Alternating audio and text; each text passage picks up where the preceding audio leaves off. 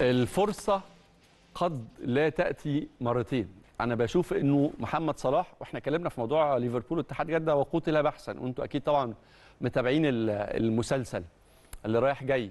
آه، لكن لكن في النهاية أنا كنت براهن بشكل كبير جدا على إنه آه، آه، بقاء صلاح في الأنفيلد ممكن يديله فرصة كبيرة جدا في المنافسة على لقب الأفضل في العالم. جيل من الأساطير في مقدمتهم طبعا البرتغالي CR 7 والأرجنتيني ليو ميسي.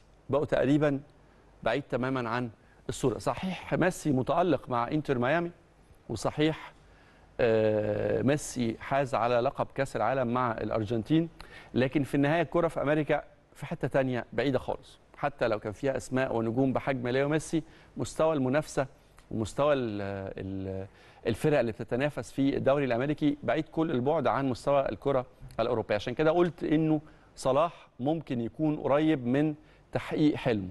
وبشوف إنه في جوائز البالون دور اللي هستعرض مع حضراتكم دلوقتي أسماء المرشحين ليها ممكن يكون صلاح عنده فرصة كبيرة جدا للدخول في الثلاثه الأوائل. على أو هكذا أنا أتمنى يعني. بشوف إنه صلاح كان ليه وعلى الرغم من تراجع نتائج ليفربول وعدم تحقيقه الألقاب لكن صلاح كان واحد من أهم نجوم ليفربول السنة اللي فاتت ويظل واحد من أهم الأسماء في أوروبا فيما يتعلق بنجوم الكرة في ملاعب أوروبا. طيب في منافسة أكيد طبعا في منافسة. في عتاولة طبعا. ال 30 اسم تقدر تقول منهم إنه في 20 اسم تقيل ممكن يكون عنده فرصة في المنافسه على اللقب. صحيح في أسماء مكتسحة أو في أسماء آه، تركت بصمات آه، مهمة جدا جدا يمكن على مستوى الأندية لكن مش على مستوى المنتخبات.